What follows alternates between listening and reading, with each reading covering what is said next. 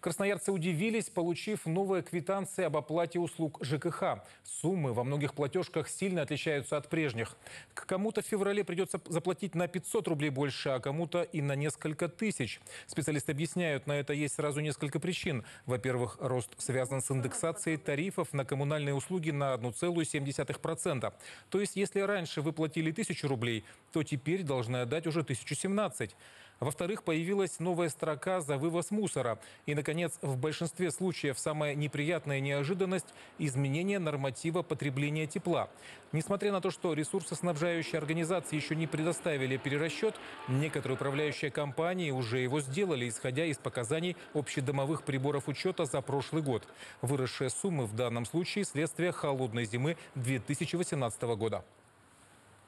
Понимая, что объем потребления тепловой энергии будет сравниваться по показаниям а, приборов учета с тем, что было начислено гражданам по среднемесячному объему потребления, либо нормативу, эта разница как раз таки выставляется гражданам в виде корректировки. Если была бы зима теплая, к примеру, предыдущий отопительный период был бы теплым, корректировка а, шла бы со знаком минус, возврат денежных средств. Если зима холодная, соответственно, корректировка, ну то, что показано приборами учета общедомовыми, соответственно, в сторону доначисления. Суммы вырастут еще в одной квитанции. С Нового года на 30 копеек за квадратный метр поднялась плата за капитальный ремонт. При этом специалисты подчеркивают, если вы считаете, что в начисления закрались ошибки, нужно обратиться сначала в управляющую компанию, которая обязана дать письменный ответ.